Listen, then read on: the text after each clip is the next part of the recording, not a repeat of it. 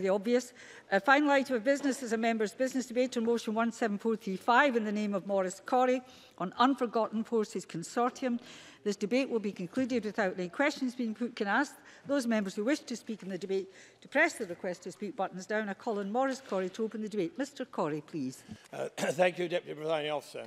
Uh, can I first of all declare that I am I'm actually um, an Armed Forces veteran, and also can I say I'm very grateful for those who stayed on after a fairly long session this afternoon in the Chamber uh, for what really is a very pertinent debate on our uh, armed forces. It is indeed an honour to open this member's business this evening and to speak of the amazing work of the Unforgotten Forces uh, Consortium. When a person leaves the armed forces, they are leaving behind what feels like family. But often what can be most overwhelming are the burdens that they take with them when they return to so-called normal life. Of course, most, veteran, victor, most, veterans transition well back into their communities, but whether experiencing physical injuries, loneliness, or mental health issues, others require services which offer extra support. And in Scotland, we are so fortunate to have a multitude of charities and organisations which stand ready to help veterans improve their quality of life. And this help is necessary. More than half of the veterans live with a disability or long-term health condition. Knowing who they can turn to uh, can be the biggest step forward in receiving advice and support. And over time, our response has become more attuned to the layered nature of support these veterans can require. For example, if a vet veteran is struggling with a problem, it is rare that this is the only challenge they face, whether big or small. For instance, an older veteran with hearing loss could also struggle with social isolation and, and a lack of daily interaction. And with the Unforgotten Forces Consortium, we can see one of the greatest examples of how an incredibly collaborative and cooperative response truly serves Scotland's older veterans. It connects both private and third sectors to offer veterans a wealth of support to tackle these issues. This consortium, established in July 2017, is a strong partnership between 16 organisations, both military and civilian, all of which are geared towards helping older veterans tackle their different needs. Kickstarted with a £4 million granted through the Age Veterans Fund, it has been given the task of delivering a three-year programme to support those veterans aged 65 and over, as well as their families across Scotland. With one year to go in its current phase, it is clear to me, as it should be to all of us here tonight, that future funding for this project would be an investment in the quality of life for our older veterans. Put simply, it aims to increase the support that is available for these veterans, and as a whole, the project seeks to provide both new and enhanced services covering health and well-being, social isolation, advice, practical help, and arts engagement for older veterans. Simply listing some of the members of the consortium exhibits the range and sheer depth of their expertise, such as Poppy Scotland, Age Scotland, the Defence Medical Welfare Service, the Scottish Older Pers People's Assembly, Fairs for All, founded by David Gibson, who I believe is here today in the public gallery, the RF Association, Luminate, Music in Hospitals and Care Scotland, Action on Hearing Loss, SAFA, the Armed Forces Charity, Citizens Advice Scotland, Erskine, ILM Highland, Scottish War Blinded, Legion Scotland and the University of West of Scotland. These partners offer a complementary mix of emotional and practical support, which means that together they capture the entire well-being of the veteran. In promoting the interconnected collaboration through pa referral pathways, the consortium has made the best use of the charitable provision that already exists here in Scotland. And of course, today I can only provide a flavour of the work of these charities as much as I wish I could cover them all and highlight a few samples now. The Defence Medical Welfare Service, whom I have had the pleasure of working with on several occasions, offers both emotional and practical services along healthcare pathways. By liaising with their partners, they encourage referrals to local support services, which in turn helps veterans in their recovery and overall well-being. Moreover, Poppy Scotland, which leads the consortium, offers assistance and practical guidance to veterans and their families, as well as those still serving in the armed forces. Since 2017, they have aimed to alleviate feelings of loneliness and isolation amongst older veterans by offering a breakaway service. This provides bespoke holiday packages for older veterans and their families. Indeed, I have read of trips ranging from London to the Highlands and even to Jersey. And furthermore, I could not speak more highly of the Erskine Activity Centre, which I very much enjoyed visiting last year in my own region, for older veterans based across Renfrewshire, East Renfrewshire, Inverclyde, East and West and Bartonshire, Erskine provides there the opportunity to try out a variety of daily activities and offering workshops in woodwork, music, computing, amongst others. These classes are a wonderful way of reducing loneliness and introducing older veterans to new skills they perhaps never realized they had. But in this way, the 16 organizations in the consortium function as a collaborative group that really highlights their effectiveness and shared purpose. And the benefits to the Unforgotten Forces project are immense and far-reaching is partnered cooperation means that veterans and their families face far less confusion and bewilderment when approaching an organization for help. And by taking the burden off their shoulders and sharing it across appropriate partners, this goes a long way to relieve the stress of being unsure who to turn to. And approaching one organization, one is in effect reaching out to all the partner organizations. And its impact is absolutely clear. In its first 21 months, the consortium has provided 7,300 episodes of support to our older veterans, which is incredible. At the heart of this success is the efficiency and the effectiveness of its referral pathway. And this close link approach allows staff within its organi these organizations to connect with each other, both at the national management level and at local grassroots level. And as Glenn, Glenn MacDonald, Poppy Scotland's Unforgotten Forces Coordinator said, it is a force multiplier.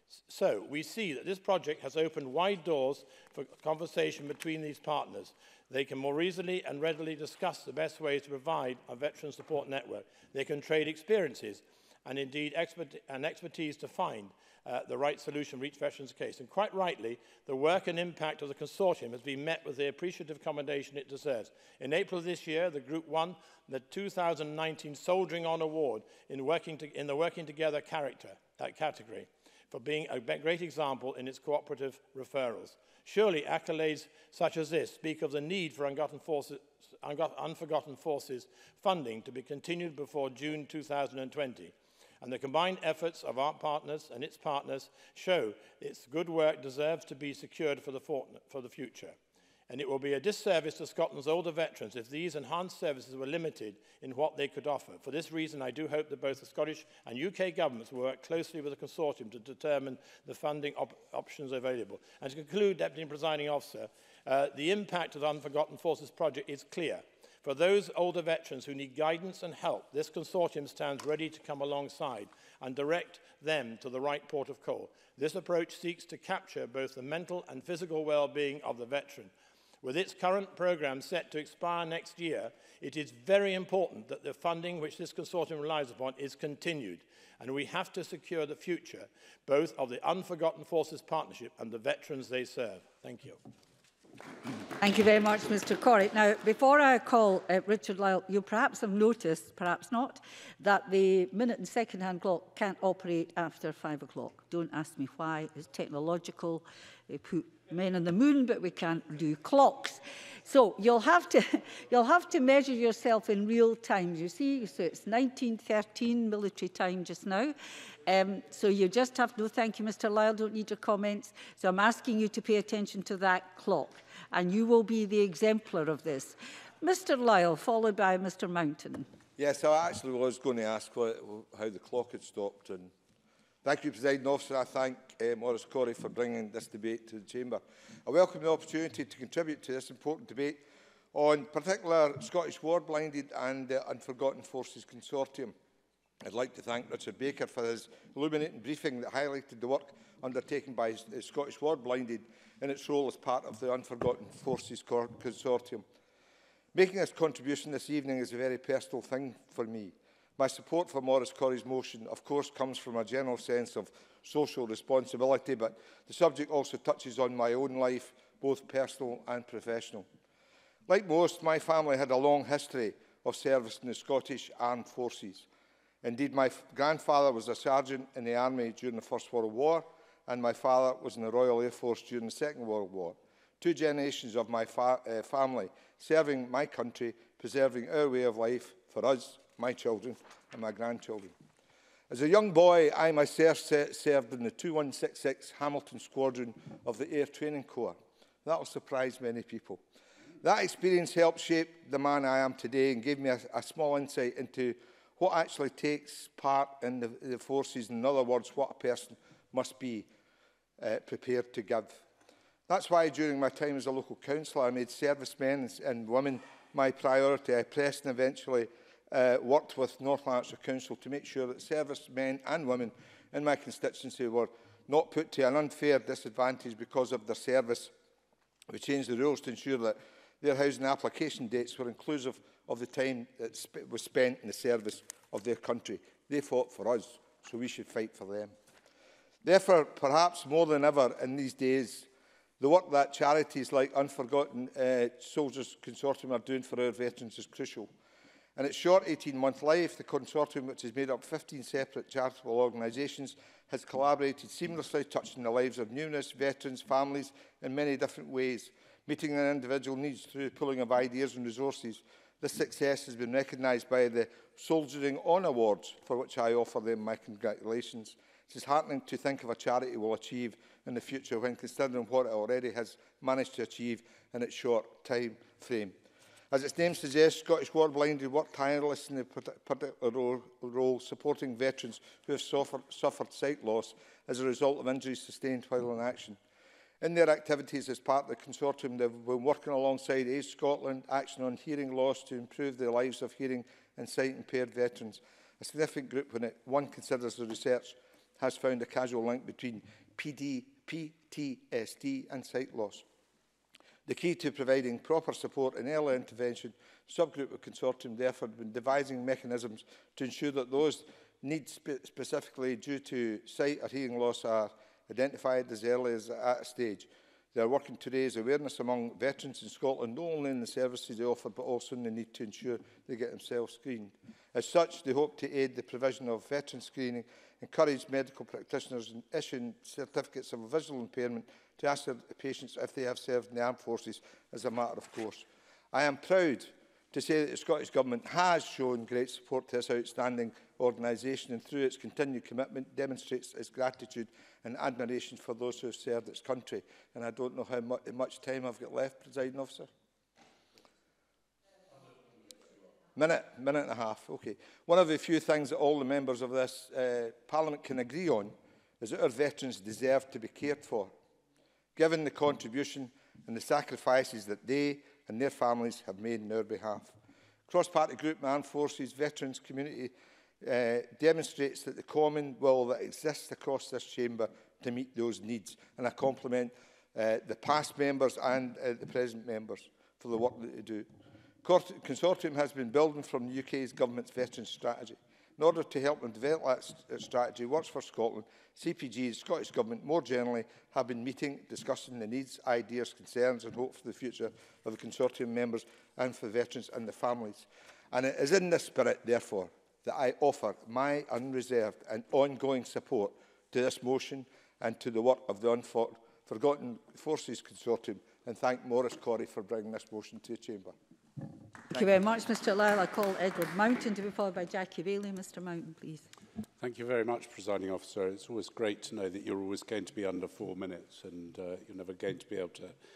give me too much of a hard time. But at the outside, I'd like to declare that, uh, that I have an interest in this, in that I am also, like Maurice Corrie, officially a veteran.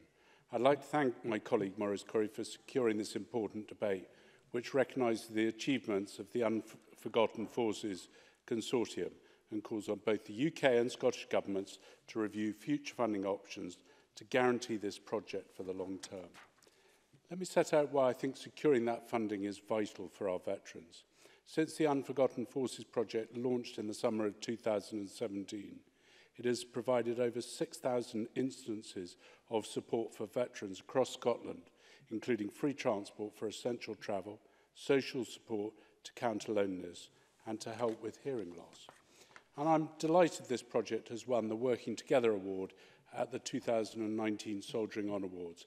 That was award was thoroughly deserved. Unforgotten Forces have helped so many veterans live a full and satisfying life, and that should be reason enough for the Scottish Government to secure long-term funding for this project. I've seen the work of the Unforgotten Forces at first hand in the Highlands and Islands region – I was delighted to attend the launch of the Hearing Forces in Fort George last summer. This service aims to help veterans with their families and carers with hearing loss or tinnitus. It's a condition that affects many ex-servicemen. Looking back to the day when I joined the Army, we weren't issued with hearing aids, and I know from firing small arms and tank guns has affected my hearing, and I also suffer from tinnitus. I therefore have huge sympathy with those in the same boat, especially those who struggle to, find, to adjust to living with hearing aids. That's why the work of Hearing Forces is so important. This service provides support for both before and after the hearing aids have been fitting, fitted, giving veterans the help they need to get used to the hearing aids. There were too many veterans who put their hearing aids in a drawer because they couldn't come to terms with the extra noise that they created. And I'd also like to pay tribute to the ILM Highland who operate the Highland Veterans Handyman Service as part of the Unforgotten Forces project. This service helps veterans with odd jobs and small repairs around the home, which some find very difficult due to disability or and limited mobility. Before I finish, presiding officer, how can I not mention the work of Poppy Scotland? the lead partner in the Unforgotten Forces Consortium, and last year they raised over £2 million from their poppy appeal to help veterans and their families. Every year I am proud to wear the poppy, not just in remembrance of First World War uh, losses, but also in recognition of every conflict since, in which our servicemen and women have sacrificed so much to defend this country. Presiding Officer, the Unforgotten Forces Consortium makes a massive contribution to improving the quality of lives of veterans. I look forward to the Minister setting out what support the Scottish Government commit, can commit to, so the, the Unforgotten Forces Consortium can continue its vital work for veterans, especially those in the Highlands and Islands and across all of Scotland. Thank you. Thank you very much, Mr Mout, and I call Jackie Bailey. Ms Bailey, please. Thank you very much, Presiding Officer. Can I start by thanking Maurice Corey for bringing this debate to the Chamber and indeed for all his work as convener of the cross-party group on armed forces and veterans. We had a very interesting presentation about the Unforgotten Forces Consortium at the last CPG. Um, Can I start, presiding officer, by, by talking about the Scottish Veterans Commissioner, Charlie Wallace, because he recently released a report that tracked the progress of the Scottish Government in reaching the target set by his predecessor.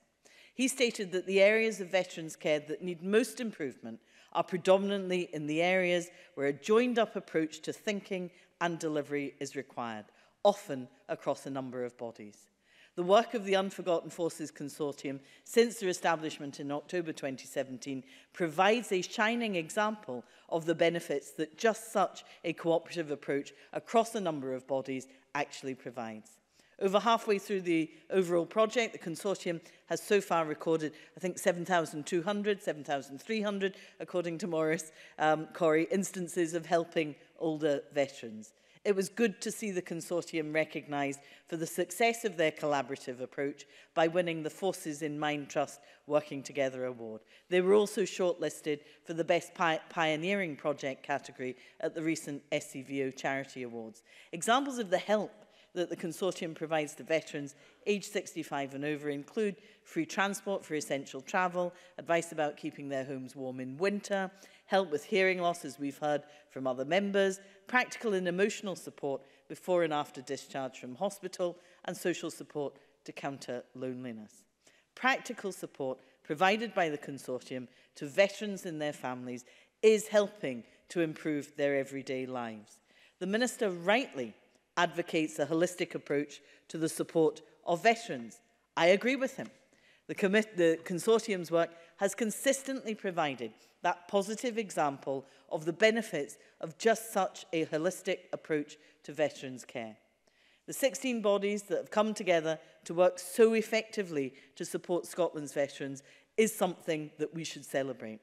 The project has proved to be a resounding success so far, and I'm not going to name all 16 of them as Maurice Corey did, but I do want to congratulate some of them Poppy Scotland is the lead agency, Age Scotland, the Legion, Erskine, Scottish War Blinded, the University of the West of Scotland, and many more besides. Because what they've done has been innovative, but has been so important to the lived experience of our veterans.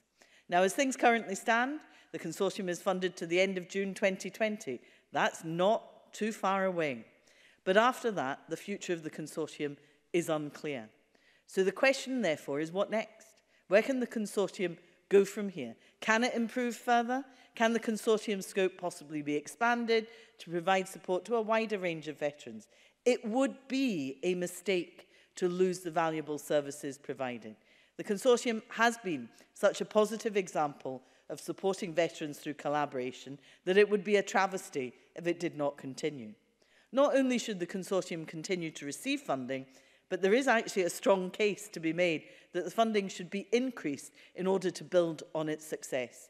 At the very least, presiding officer, continuing to fund the consortium would provide a resounding statement of support for just this kind of collaborative approach, ensuring that they can continue to have a positive impact on veterans' lives is vitally important. Presiding officer, the Veterans Commissioner, the government, the third sector are all in agreement that collaboration and cooperation are critical aspects of improving support for veterans. I hope the Minister will not just welcome what they've done so far, but the Minister will draw together a group of key people to drive forward access to funding so that the work of the Unforgotten Forces Consortium continues for many, many years to come. Thank you. Thank you very much, Ms Bailey. And I call on Graham Day to close the Government Minister, please. Presiding Officer, let me begin by congratulating Maurice Corrie on bringing forward this motion for debate and members for their input to it.